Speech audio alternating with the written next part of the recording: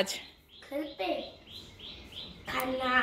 खाना? हाँ, चलो क्या मैं? आपकी मम्मी को भी ले जाना है तो। मेरी मम्मी को भी ले जाना है? हाँ। आपके घर ही खाएँगे हम सब खाना आज है ना? हाँ। और क्या? आ नाली में? नाली क्या? हाँ नाली। हाँ दे दिया। हाँ क्यों? नाली क्या आप भी आ जाओ तो। आ जाओ। पूजा कर ली हमने नाई नाई भी कर ली। आपने कर ली नाई नाई ओरे मेरे चाँद ने नाई नाई कर ली। तिलक तो नहीं लगाया आपने? तिलक तो लगा हुआ ही अभी। मैं लगाऊँ क्या आपके तिलक? आ जाओ तिलक लगाते हो। नहीं। अच्छा क्या वहाँ जा रहे हो क्या? क्या? आएँगे मैं और निक्की बुआ सब साथ में आएँगे ठीक है ना? ठीक है जाओ तो। हाँ आ जाएँगे। Welcome back to my YouTube channel. कैसे आप सब आई होप आप सब बिल्कुल ठीक होंगे। तो थंबनेल से आप सबको पता चल ही गया होगा कि आज का वीडियो किस पर होने वाला है। लेकिन मैं आप सबको एक बात और बताना चाहती हूँ कि ना पिछले ब्लॉग में मैंने बताया था कि वन मंथ का मैं ना कंटिन्यू ब्लॉग शूट करूँगी क्योंकि मैं ना हमेशा कंटिन्यू नहीं करती हूँ, जैसे कभी कर लिया, कभी डांस वीडियो कर दिया, कभी वीडियो शूट कर लिया, कभी ब्लॉग पोस्ट कर दिया तो अभी ना वन मंथ का मैं कंटिन्यू ब्लॉग पोस्ट करने वाली हूँ।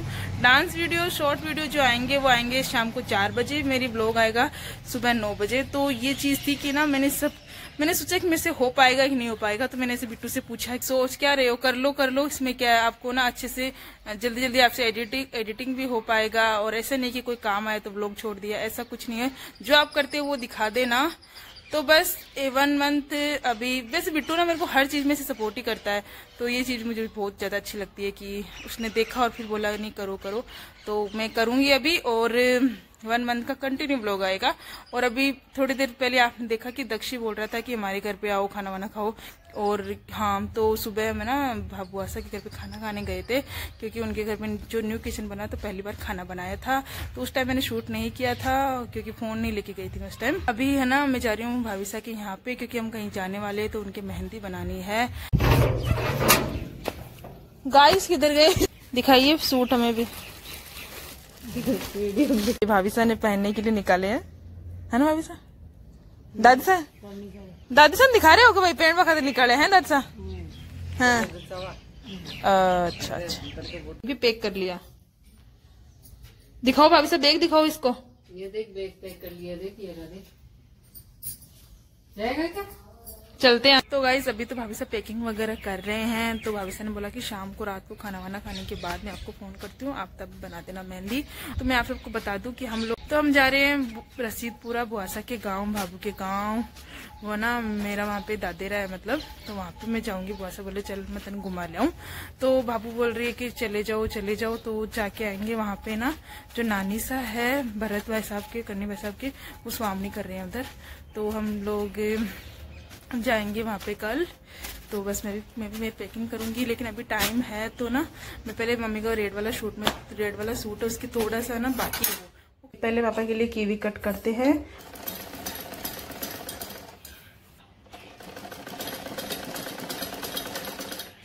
तो देखिए गाइस ये मम्मी का रेड वाला सूट कंप्लीट है। बस मुझे ना यहाँ पे नेफ, नेफा लगाना था और ये वाला ना ये वाली सिलाई करनी थी।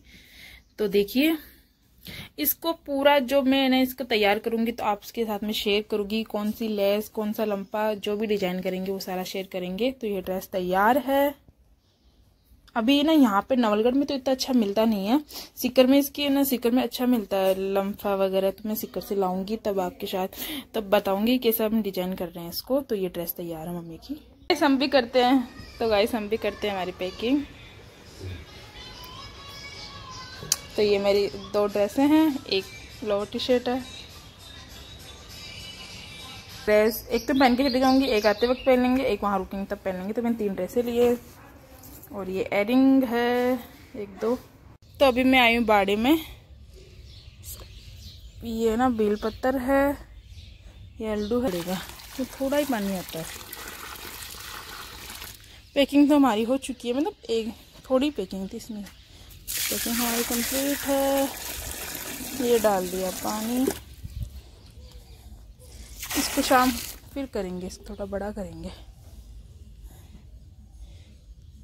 पतझड़ के बाद में जो कितने पत्ते आए ना, कितने सुंदर आए, देखो।